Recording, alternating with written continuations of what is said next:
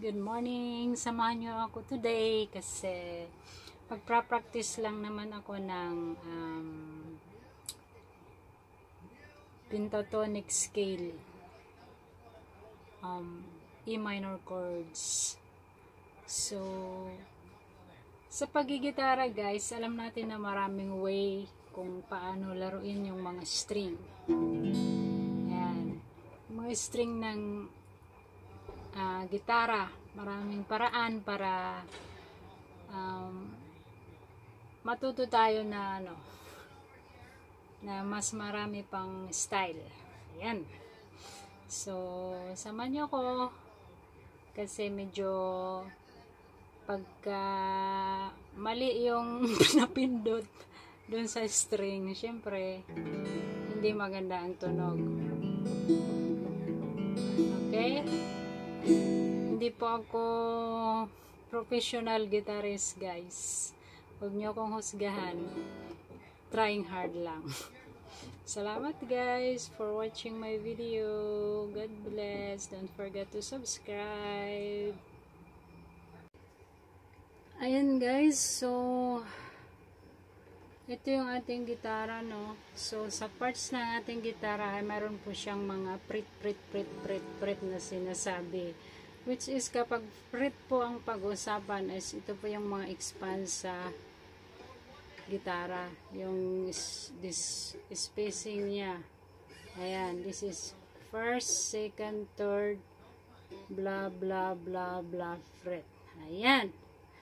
Karon um, ngayon sa ating gitara is meron po siyang 6 string. So, ito yon Ayan. So, sa 6 string ng ating gitara, guys, E, A, D, G, B, E. So, dito po natin lalaroin yung mga chords ng bawat uh,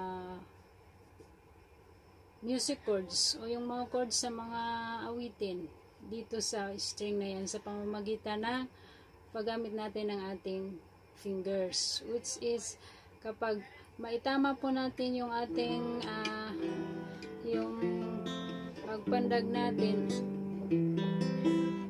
ay makabubuo po tayo ng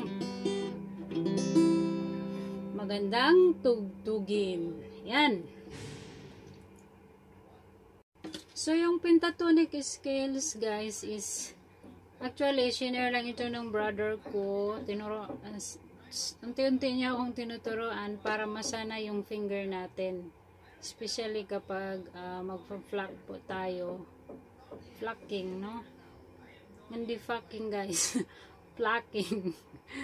pag nag-pluck tayo sa pag, ano, mga ganyan na style, is yung finger natin, sanay siya kung saan siya pupunta sa string ng gitara. Yan. So, kailangan talaga siyang bigyan ng time para matutunan. Actually, hindi ako masyado marunong pa, pero I am trying na malelearn ko yung mga isinishare sa akin na learnings. Yan. So, sa pentatonic scale, guys, na itunuro sa akin na aking brother which is E minor muna ako guys kasi first time ko ah. Hindi ko talaga siya tinigilan hanggang hindi ko siya makuha. So samahan nyo ako kasi tingnan nyo kung paano ko siya ginawa hanggang sa nakuha ko siya. Ayan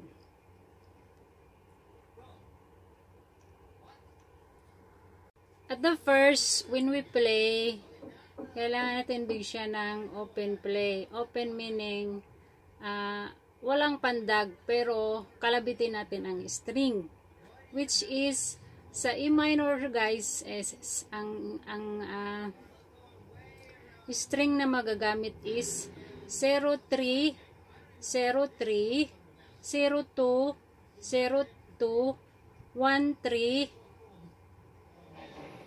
03. Ayan. 03, 03, 02, 02, 1303.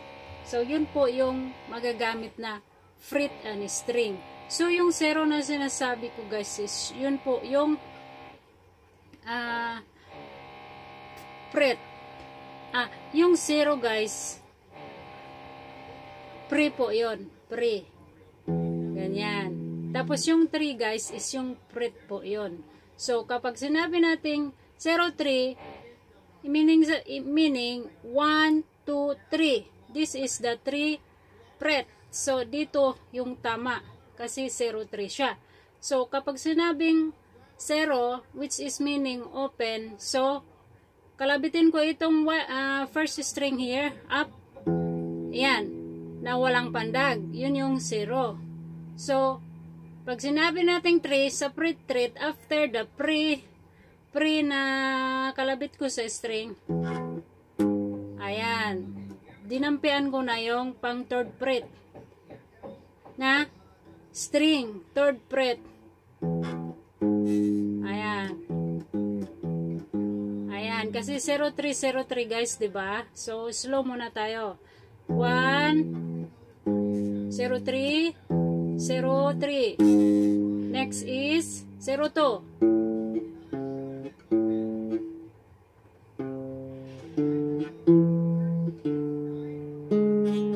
Na.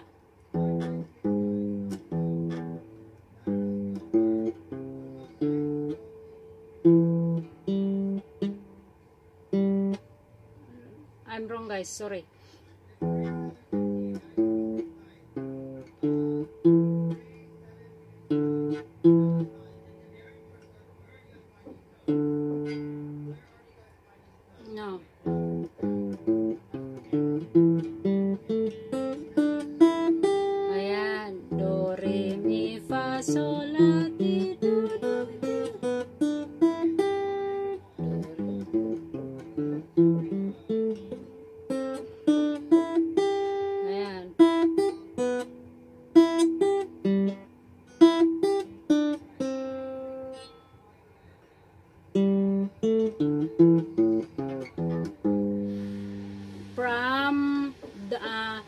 Going down to going up. So, yun po yung ano niya, yun po yung paglaro niya. Kaya lang, kailangan natin pag, uh, pag-aralan kung paano mabilis ang gawin sa pamamagitan ng ating mga finger. Actually guys, sa first na play ko is may mali-mali ako doon. So, I'm trying to um, I will try to to play, no? Na walang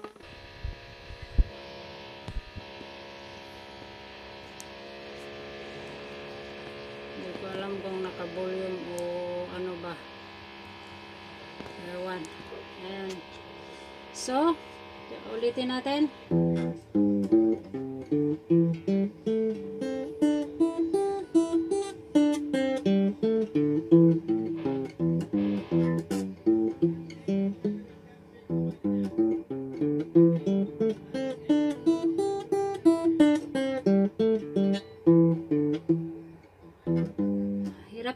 guys, pag mag-practice pa lang, talagang may mali-mali.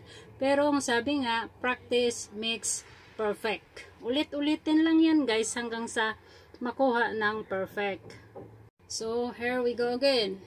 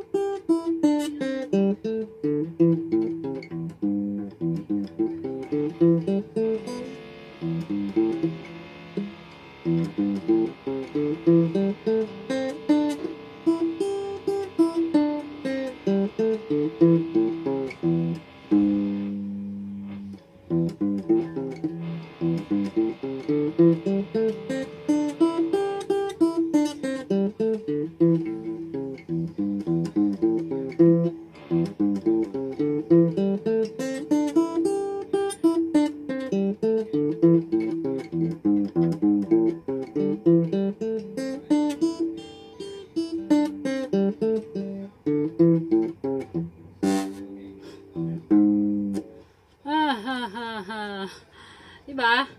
Pero yung finger mo is no problem. Walang nangyayari. Kasi kung willing ka, you can be, no? Uh, pag-igihan mo lang.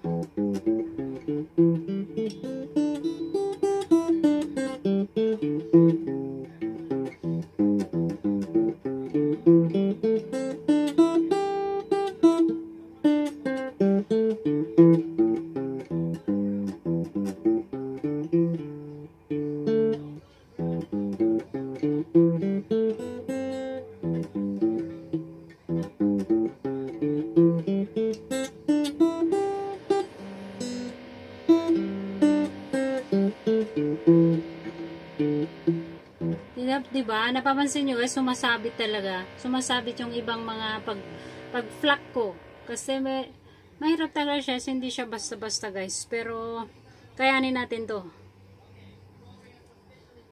Final practice for pentatonic scale E minor.